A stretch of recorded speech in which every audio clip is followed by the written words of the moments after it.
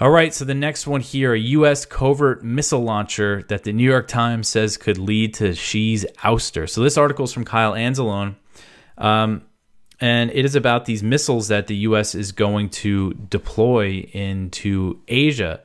Uh, apparently, they've already been deployed to Asia. So, after the U.S. withdrew from a major nuclear arms treaty with Russia in 2019, the Pentagon began to develop weapons that would have violated that agreement. Such a covert missile has now been deployed to the Philippines as part of the U.S. military buildup surrounding China. The New York Times reports that this system to be a covert. Uh, they're saying that this system is a covert missile launcher that Washington believes could jeopardize Xi Jinping's position as the president of China, which is kind of a crazy way to report on this missile. Um, so this is the uh, Typhoon launcher or Typhon. Is it one O? Um, and so they're sending these missiles. It's the Typhon, I guess that's how you pronounce it. T Y P H O N.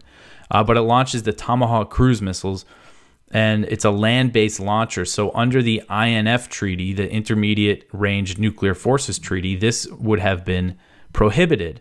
But the U.S. pulled out of the INF Treaty with Russia in 2019 and started developing these land based missiles at this range immediately um, to deploy them near China. Uh, it was very clear that was kind of the point of the of you know they accused China, uh, Russia of violating the treaty. They didn't try to do any sort of diplomacy to uh, you know to work it out. They pulled out and they started developing these missiles, and now apparently they sent them to uh, the Philippines. And according to the New York Times, the U.S. is hoping to use these launchers to protect Taiwan from a Chinese attack, and they believe that these missiles would could be enough to thwart an invasion of Taiwan and even force Xi from power if Be in Beijing if an invasion fails.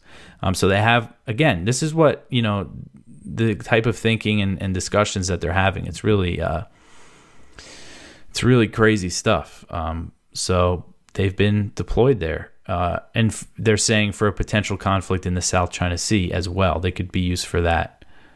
Um, so scary stuff.